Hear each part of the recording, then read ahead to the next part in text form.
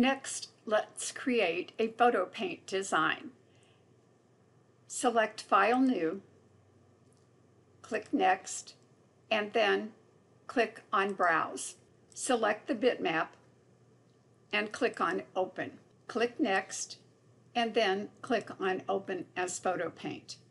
Click Next, and you'll notice that there are four colors of paint pens that are used to create this design yellow, fuchsia, cyan, and black.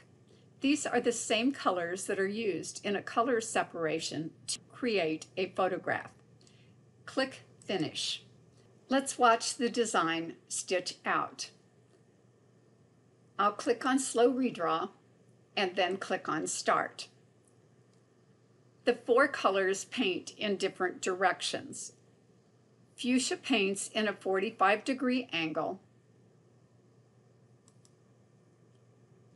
Cyan paints in a horizontal direction.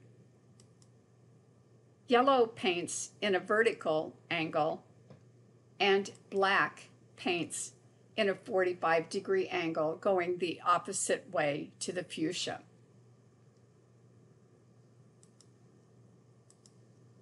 You cannot edit the bitmap in DesignWorks but the bitmap can be edited in a bitmap editing software and then imported into DesignWorks.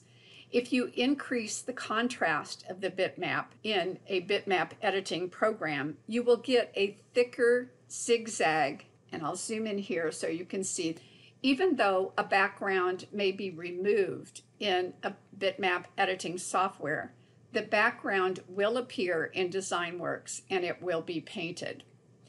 The only type of bitmaps that can be imported into DesignWorks are those that have been created with RGB colors.